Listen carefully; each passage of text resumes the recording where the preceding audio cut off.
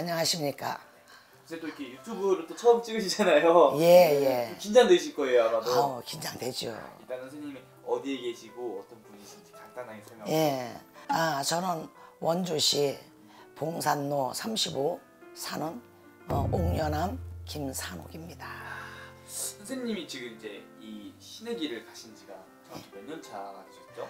아, 올해 33년 차입니다. 저보다 나이가 많네요. 선생님의 경력이 저보다 나이가 많아요. 예. 33년이라는 시간이면은 진짜로 정말 긴 세월 동안 이렇게 예. 신의 길을 꼭 가고 계신 건데 예. 그러면 그만큼의 또 노하우도 있으실 거고 예. 점사 보는 선생님의 이 방법도 있을 것 같아요. 예. 선생님이 점사 보는 방식이 제가 사전 선생님이랑 이렇게 미팅을 하면서 들은 거가 예. 조금 남들이랑 좀 다르게 점을 보시더라고요. 예. 오로지 영으로만. 예. 그러면 선생님 처음 이제 33년 전에 점을 보실 때도 예. 그때도 영으로만 점을 예, 그때는 진짜 뭐 선생님이 없었으니까 네. 할머니 할아버지들이 내가 닦은 대로의 영을 내려주시기 때문에 어, 영으로 볼 수밖에 없었죠. 보통 저희 같은 일반인들이 생각하기에는 점을 본다 하면은 생년월일을 물어보고 예, 생년월일 넣고 본다 이렇게 알고 있잖아요. 예, 그러면 선생님 같은 경우는 굳이 생년월일은 예, 생년월일을 저는 적어요. 어, 도사신령 할아버지가 계시기 때문에 네. 나이가 몇이고 어, 성이 뭐냐 이렇게 물어요. 더 세밀하게 봐주는 그런 과정도 따라와요. 이름을 여쭤보고 예, 선생님 그럼 주된 점사는 그럼 영으로 보신가요? 예, 영으로 봅니다. 신점이라고. 예, 신점이죠.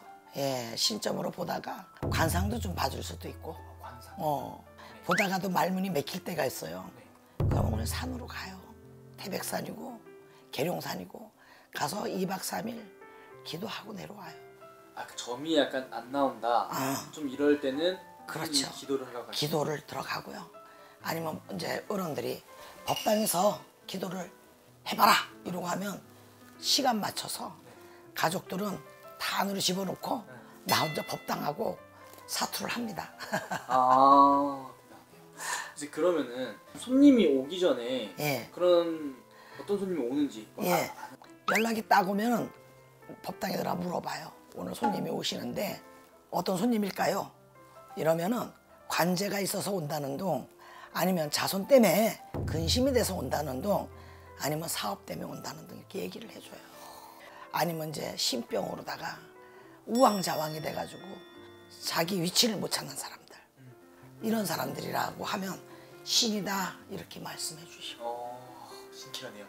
그럼 예를 들면은 좀 어디가 좀 많이 아프신 분이 온다. 어, 아프면 내가 막 아파요. 아, 선생님 아파요? 예, 지기 받느라고.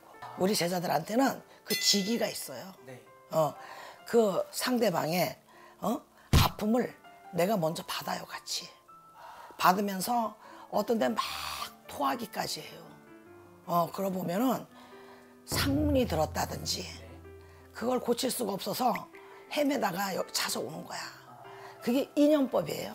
너무 심하면 법당에서 내가 대충 응급치료를 해서 어, 그 다음에 보내드릴 때도 있고 아니면 그분들을 그 살을 풀어주기 위해서 일정을 잡기도 하고 그래요. 그러면 선생님 어쨌든 이 점을 보러 오는 사람들은 가장 큰 거는 가장 보러 오는 이유는 자기의 고민을 많이 해서 자기가 해결을 못하니까 찾아와서 이제 조언을 받는 거지. 그리고 이제 거의 또 해가 다 간 이 시점에 오는 사람들 많아요. 그러면 해가 다 지났는데 소 잃고 왜안 강군 치러 왔냐? 이러면 막 울어. 너무 고통스러웠던 거지. 그런 분들이 오시면 선생님 또그 지름길을 알려주시는 거죠. 지름길을 알려주고 때는 늦었지만 서도 그리고 뭐 없으면 응급 조치라도 좀 해서 보내고 아, 어 그렇게 어, 33년을 지내왔어요. 여기 옥년한 법당에서는 그냥 응급 치료를 해서 보내주고 인연을 져가지고 어디 일할 자리 일을 마련을 해서 나중에 이 은혜는 잊지 말고 어른들 앞에 다시 한번 와서 인사드리고 가라는 얘기를 내가 해주고 있죠.